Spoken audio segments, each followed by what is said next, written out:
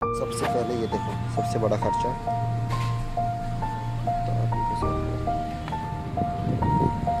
ये ये ये ये, अभी जुगाड़ करवाई थी मैंने। थोड़ा टाइम हो गया, एक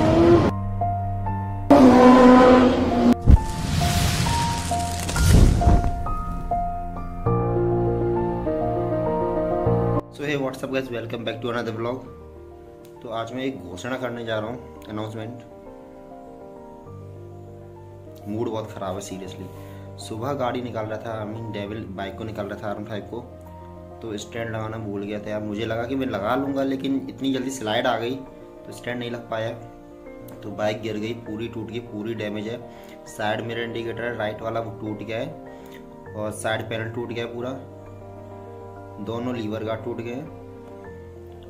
सिर्फ़ पाँच दिन पहले मैंने वाइज़र डलवाया था वीडियो भी डाली है मैंने वाइज़र भी टूट गया है। इतना दिन खराब चल रहा है मेरा। सोच रहा था कुछ कराने की, लेकिन अब कुछ नहीं, बहुत कुछ कराना पड़ेगा, कुछ के चक्कर में। सो अभी जाता हूँ वहीं पे। पहले दिखा दूँगा डेविल की कैसी हालत है, कैसी क्या है। समझ में नहीं आ रहा है कि मैं क्या करूँ, क्या नहीं करूँ। इतना पैसा लगा रहा हूँ यार, उसके बाद भी कुछ ना कुछ कमी निकलती रहती है।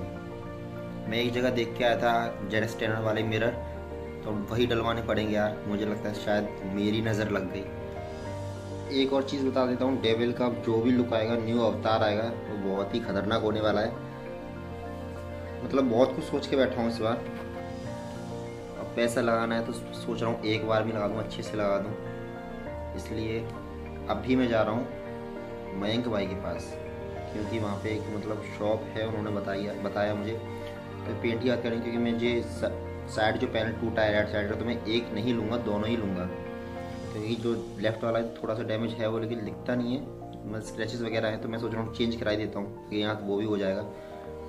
दोनों साइड मिरर लूँगा। अब देखो कौन से लूँगा, यही वायर डलवाऊँगा या फिर जेड स्टैंडर वायर डलवाऊँगा। उसके बाद साइड पैनल लेने दोनों।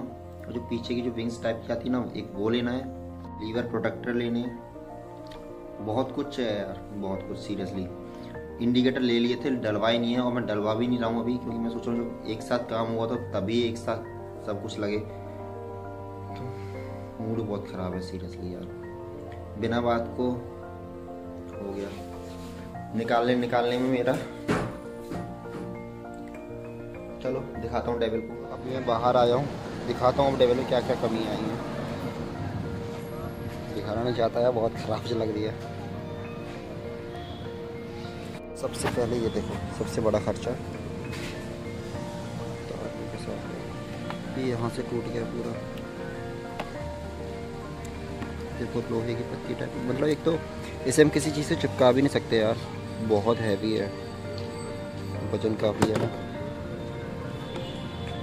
अभी डलवाया था, टूट गया पूरा।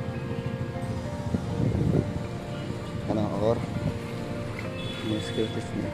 देखो। छेद हुआ है। ये ये ये अभी जुगाड़ करवाई थी मैंने। थोड़ा टाइम हो गया, एक ये यहाँ से पूरा, ये ये पूरा गया। ये टूट गया। ठीक है? ये तो पूरा, ये पूरा ही चेंज होगा। उसके बाद ये डलवाया था, ये देखो। पूरे में स्क्रैचेस आ गए। ये भी गया।